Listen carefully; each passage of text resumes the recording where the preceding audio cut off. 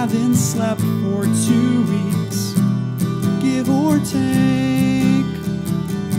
My mind feels empty, there's a void inside my brain.